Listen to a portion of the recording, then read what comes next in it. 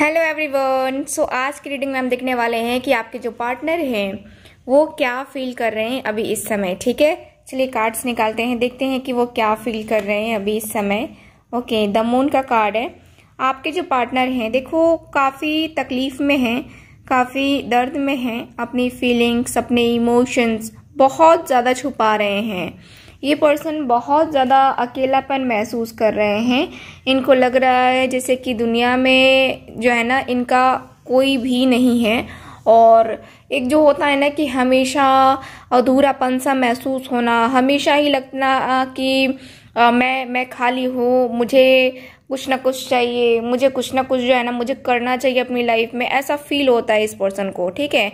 ये पर्सन को जो है ना अभी यही फील हो रहा है मैं देख पा रहा हूँ यहाँ के एनर्जी के अनुसार ओके चलिए अदर कार्ड निकालते हैं तो अदर कार्ड में यहाँ द लवर्स की एनर्जी है द लवर्स की एनर्जी यहाँ पे आई है जो कि बता रही है कि आपकी याद बहुत आ रही है अभी इस पर्सन को। बहुत ही ज़्यादा याद सता रही है, बहुत ज़्यादा अकेलापन हो रहा है, बहुत जो एक होता है ना कि हाँ एनर्जी कभी कभी ऐसी होती है जो कि हमें बुलाए नहीं भूलती, है ना? तो आपके पार्टनर भी जो है ना, वही ट्राई कर रहे हैं मतलब कि भुलाने की कोशिश कर रहे हैं, लेकिन ये पर्सन भूल नहीं पा रहे हैं चीज़ों को, एनर्जी को। कहीं हद तक जो है ना, इनको कहीं हद तक जो है ना, अकेलापन, अधूरापन बहुत ज़्यादा महसूस होता हुआ दिख रहा है। यहाँ पे एनर्जी ये भी है सेवन ऑफ़ पेंटिकल्स के एनर्जी के अनुसार से। देखो एनर्जी मुझे क्लियर बता रही है कि ये पर्सन जो है ना, बहुत ज़्यादा डीप थिंकिंग करते हैं आपके बारे में। बहुत ज़्यादा अकेलापन फील होता है, बहुत ज़्यादा एक जो होता है ना कि ये पर्सन अभी भी फ़िलहाल यही फील कर रहे हैं कि मुझे क्या करना है। ठीक है लाइफ में आगे बढ़ने के लिए मुझे क्या करना है, क्या डिसीज़न लेना है, अपने पार्टनर को लेकर के, अपने आप को लेकर के फाइनली क्या डिसीज़न होना चाहिए जो कि मेरी ज़िंदगी बदल सकती है। ठीक है, यहाँ डेथ की एनर्जी है।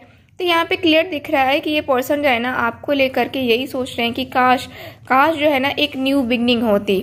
ठीक है, इनकी फीलिंग्स जो इन, इनकी इमोशंस हैं काफ़ी ज़्यादा अलग हैं।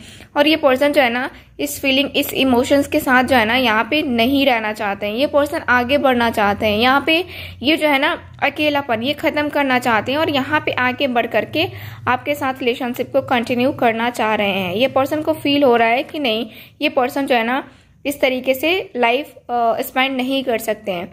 ठीक है एस ऑफ़ पैंटिकल्स की एनर्जी है। एस ऑफ़ पैंटिकल्स की एनर्जी भी बता रही है कि एस ऑफ़ पेंटिकल्स की एनर्जी बता रही है कि आपके जो कार्ड्स हैं एस ऑफ़ पेंटिकल्स यानी कि एक न्यू बिगनिंग करने वाली फीलिंग्स ठीक है? ये पर्सन को फील हो रहा है कि आप भी जो है ना न्यू बिगनिंग करना चाहते हो और न्यू बिगनिंग करोगे, ठीक है, इनके साथ।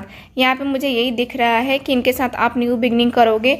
नाइन ऑफ़ वैंड्स की एनर्जी के अनुसार से दिख रहा है कि आप और आपके पार्टनर ठीक है? यहाँ पे नाइन ऑफ़ वैंड्स की एनर्जी में है, यानी कि एक जो अधूरापन है, जो अकेलापन है वो आपके पार्टनर को फील हो रहा है। ये पर्सन डर रहे हैं सिचुएशन को फेस कर रहे हैं लेकिन अंदर ही अंदर जो है ना बहुत ज़्यादा डरे हुए हैं। ठीक है? सो so, यहाँ पे मैं यही देख पा रही हूँ अभी आपकी रीडिंग में। सो so, ये रही आपकी रीडिंग मिलते हैं अगली रीडिंग में। बाय